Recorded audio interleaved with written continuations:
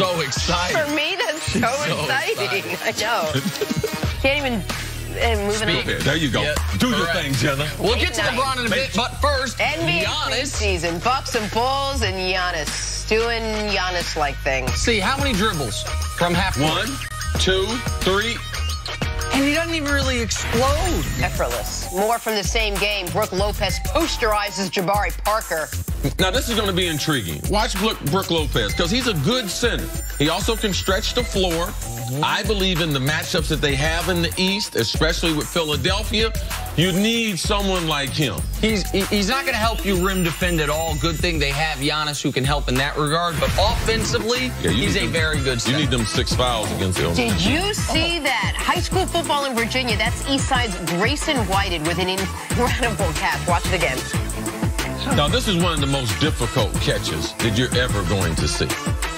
Behind his back, in the middle of the field, athletic though. It does a full 360. I mean, didn't miss a beat. That's awesome. The That's other little kid was late on the scene there.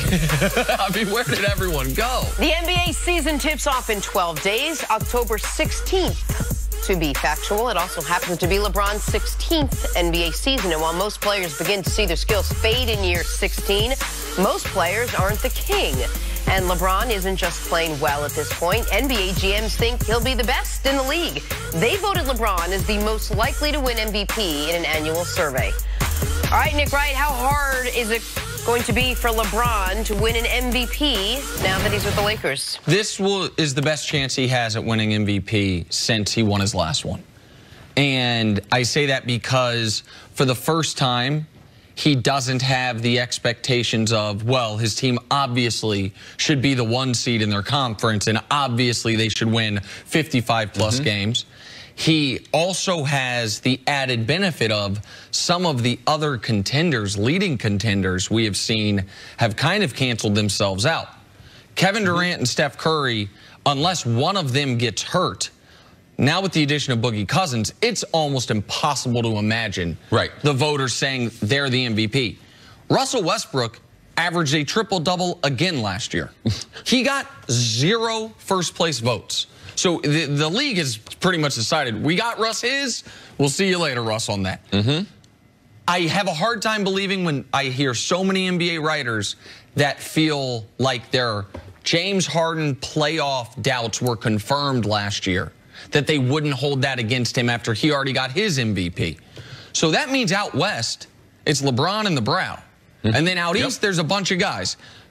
Kawhi, Embiid, Giannis, Kyrie, like so uh, this is the best chance LeBron has and because people would look at 50 wins for the Lakers not as underachieving. Cavs won 50 last year. It was considered a huge disappointment. Yeah. Lakers win 50 will consider it a big success. Yeah, I feel as if LeBron does win MVP, it's like his fourth championship. 16th year in the league at this age. And um, I I think this is a tremendous compliment coming from the general managers. This is different. Nick tells me, hey, man, Vegas, they got LeBron the favorite. That don't mean nothing to me. The general That's managers. sound like to uh-huh. him. No, and the this is all 30 of them. I mean, the general manager's saying that LeBron James going into year number 16, it also lets them know, man, if we were having a, a free agent draft, that guy right there got to be considered as the first pick, even with all these young players. A new setting, all new teammates, new coaching, and to think that he's going to be the MVP, I think that's one of the most complimentary things I've heard about LeBron James, especially at this point in his career. Who did they pick last year? Do, do you remember? Last year for MVP, The- the- I don't remember the. the I know that the the, the, the GM the survey. GMs, I rather. people should understand when I say it's all 30. They do this every year. ESPN does it where they they get all 30 GMs to participate. It's anonymous, but they all participate. They fill out a ballot.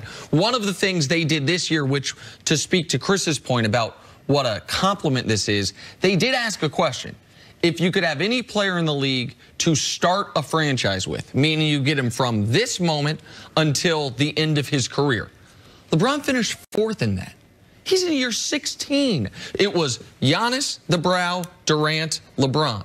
And so that means the, GMs as a whole, they were like, would we rather have the next, oh, I don't know, 12 years of Kyrie, the next eight years of Russ, the next 10 years of James Harden. No, those are all guards, though. Guards don't age well in the NBA, so I could see them shying away from Okay. especially those guards. The next 10 years of Embiid.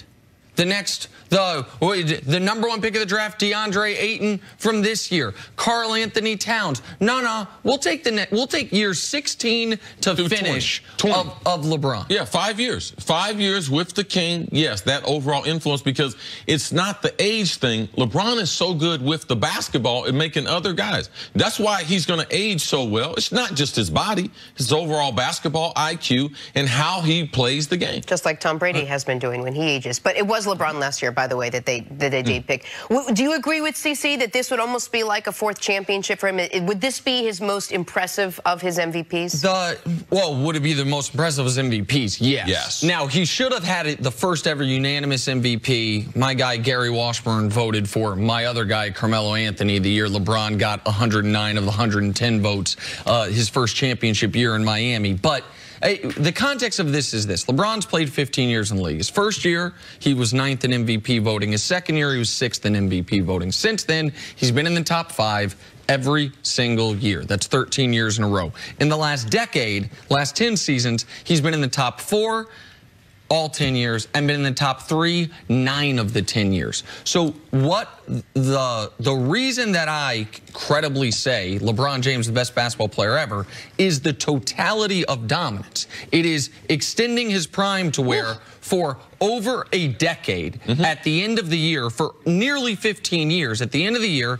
he has been a consensus top five player, and for the most of the decade, a consensus top three player. And if we're being honest, the consensus best player. And we're just talking MVP mm. voting when I say top five, top three. If he were to win an MVP in year 16, when so many of the greats didn't even play in a year 16, I it's not a ring, but it is it goes at the top of his individual accomplishments list. 2011 was the last year that GMs did not vote for LeBron Oh. to win in the preseason poll. Do you know who they voted for this year? That In year? 2011, Yeah, Kobe.